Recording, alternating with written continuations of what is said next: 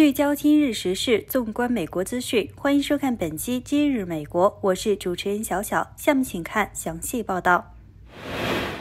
十月九日，美国总统拜登表示，在飓风米尔顿袭击佛罗里达州之际，他的政府将向企业施压，要求其保持价格稳定，以便人们无需多付钱，即可获得汽油、航班和其他必需品。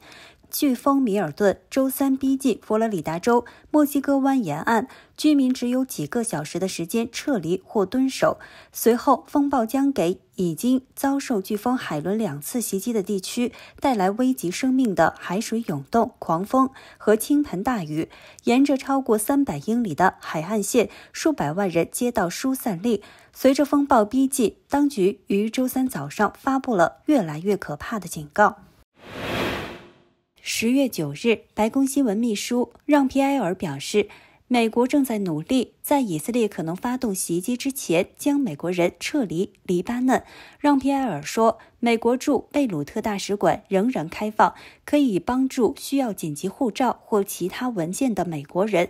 只要贝鲁特机场保持开放，美国将继续提供飞机。迄今为止，可用座位数量继续超过需求。美国驻贝鲁特大使馆仍然开放。我们敦促美国人利用这些选择。最终，外交解决方案是实现以色列。黎巴嫩边境持久稳定与安全的唯一途径。所有美国人的安全是拜登贺锦丽政府的首要任务。随着黎巴嫩的安全局势变得越来越不稳定。我想花点时间谈谈拜登贺锦丽政府为支持寻求离开或在黎巴嫩境内搬迁的美国人而采取的众多措施。我们正在全天候工作，为在黎巴嫩的美国人提供尽可能多的离境选择，并向需要援助的美国公民提供贷款。贺锦丽周二通过一系列媒体亮相，希望让选民更好地了解他。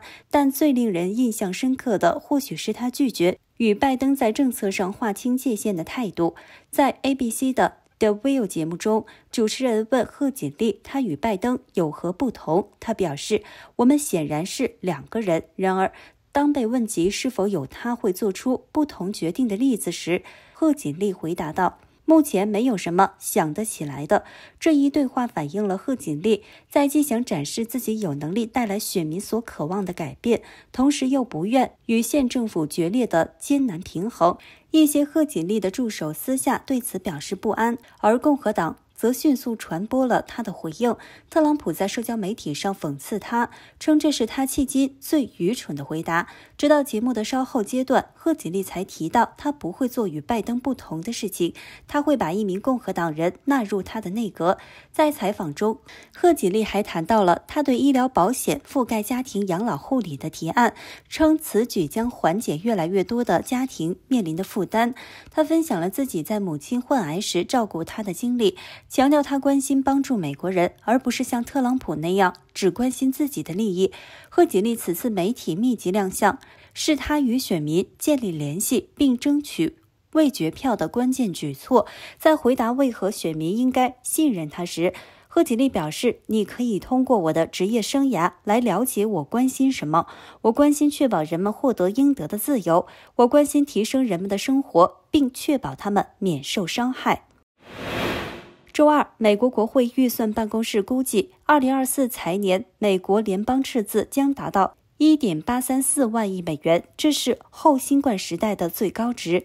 原因是债务利息成本大幅增加，且社保、医疗保险和健康保险税收抵免的支出上升。这一估算数字较二零二三财年一点七万亿美元的赤字增长了百分之十一，但略低于。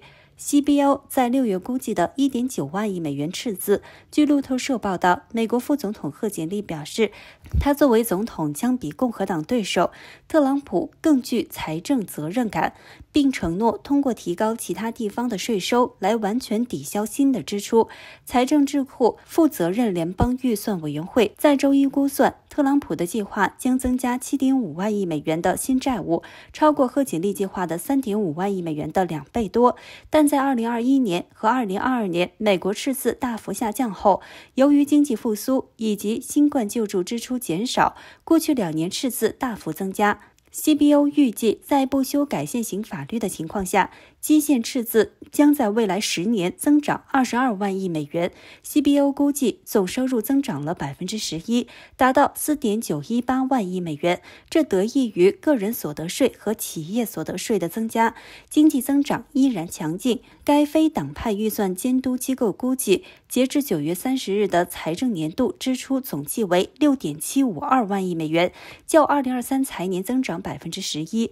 支出增长最大的部分来自公共债务利息增长了百分之三十四，达到九千五百亿美元；而在医疗保险、社会保障和军事方面的支出也有所增加。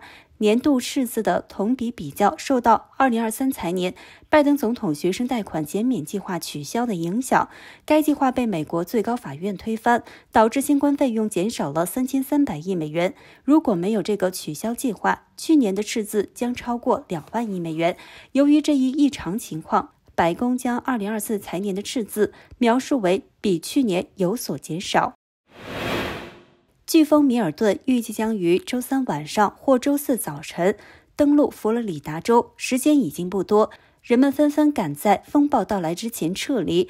据报道，在纽约市约翰肯尼迪国际机场，一些幸运的人在周二晚上成功飞离佛罗里达，但过程充满挑战。